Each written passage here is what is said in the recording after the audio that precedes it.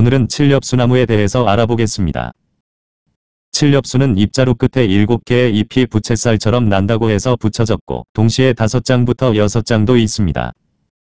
종류에는 외칠엽나무와 서양칠렵수 가시칠렵수가 있으며 외래어로 마로니에라고 부릅니다. 마로니에는 노래가사에도 자주 나오는데 사랑과 낭만이 있는 뜻으로 표현되기도 합니다. 특히 서양칠렵수는 열매에 가시가 있는 게 큰 특징으로 독성이 더 강합니다. 열매는 8, 9월에 익고 껍질은 호두를 조금 닮았으며 익게 되면 땅에 떨어져 알밤처럼 갈라지는데 속에 한두 개씩 들어 있습니다.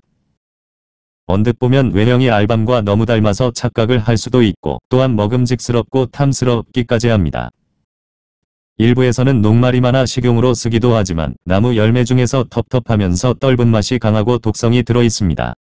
그래서 알밤같이 함부로 먹어선 안되며 꼭 독성을 제거하고 약용 및 식용으로 사용해야 합니다. 칠렵수는 내한성이 좋아 국내 전역에서 가로수 및 재배가 가능하지만 중부보다 남부에서 좀 더 흔하게 볼 수 있습니다. 현재 이 칠렵수는 입마른병과 얼룩무늬병이 찾아온 상태이고 이 병원균은 미관을 해칠 뿐만 아니라 전체적인 수세를 약화시킵니다.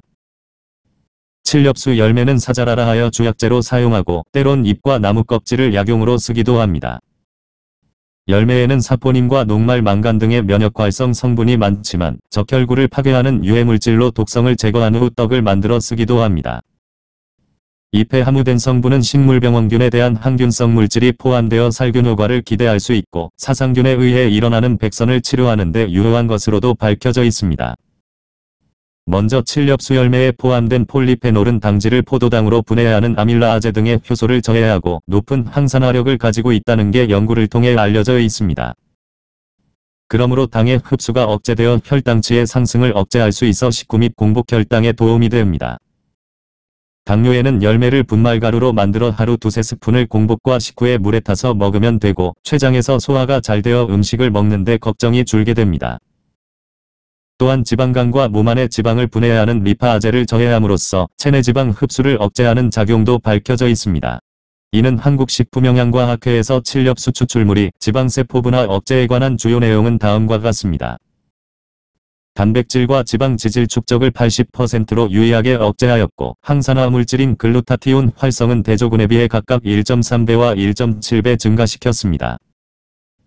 결과적으로 칠렵수는 지방 생성 세포수를 감소 및 억제시키고 글루타티온을 증가시켜 체중 조절과 지방간 및 간염 치료제로 유효합니다.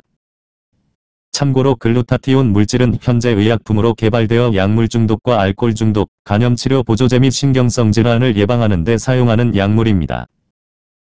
그리고 열매에서 나오는 천연 생리활성 물질들은 주름의 원인이 되는 콜라겐 단백효소의 생성을 억제하였습니다. 그래서 피부결을 부드럽게 만들어 노화의 원인이 되는 산화를 방지하는 파워가 있고 피부 컨디션 조절과 트러블을 돕게 됩니다. 나무 껍질은 다리는 약으로 복용하면 치질과 자궁 출혈에 효과가 있다고 하며 소염제와 마취 효과로 다리의 부종과 경련을 풀는 데 유용하게 쓰입니다. 그 밖에 약간의 높은 열증을 낮추고 흥분을 가라앉히기 위한 진정제와 호흡기 계통의 거담제로 쓰입니다. 최근에는 동맥경화증과 종창 등의 치료와 예방에도 사용되며 비정상으로 부푼 꽈리 형태의 정맥류와 하지정맥류를 치료할 경우에도 적용합니다. 칠렵수 열매에는 단백질과 전분이 많지만 탄닌을 제거한 후 약재 및 식용으로 사용하셔야 합니다. 먼저 수확한 열매의 독성을 빼기 위해서는 2-3일 동안 물에 담궈 놓습니다. 그리고 다시 꺼내어 바삭바삭한 소리가 날 때까지 7일 10일 동안 햇볕에 말리시면 됩니다. 또는 겉에 있는 과피를 벗겨서 햇볕에 말리셔도 됩니다. 말린 것은 흐르는 물에 일주일가량 담궈서 뜨끈한 물에서 칠렵수 열매를 삶습니다. 그런 다음 식용으로 사용할 수가 있고 분말로 만들어 3-5g을 뜨거운 물에 달여서 하루에 두세 번씩 복용하면 됩니다. 분말로 만들어 복용하면 냉기로 인한 복부 팽만감과 배의 통증이 줄고 다이어트 한방차로 쓰기도 합니다. 최근 국내에서 칠렵수 열매로 만든 차가 피부 및 노화제연에 좋다 하여 인기를 끌고 있습니다. 집에서 열매를 법제하는 것은 상당한 시간과 노력이 필요하기 때문에 끈기가 필요할 것입니다. 다음 5, 8월에는 잎을 채취해 말린 다음 분말이나 차로 쓰셔도 되고 가을에는 껍질을 말려서 사용합니다. 피부병과 백선에는 봄의 새싹에서 나오는 시점에 채취해서 피부에 바르면 되고 나무 껍질은 10에서 15g을 700cc물에 넣어서 발량이 될 때까지 달여 복용합니다. 열매의 껍질은 독성이 있어 날 것으로 복용하면 중독이 되고 용량을 초과해서 많이 먹으면 위장이 자극되고 구토 및 설사가 일어납니다. 또한 신장에 문제를 일으킬 수 있다고 하니 이런 질환이 있으신 분은 복용에 신중하셔야 합니다. 시청해 주셔서 감사합니다.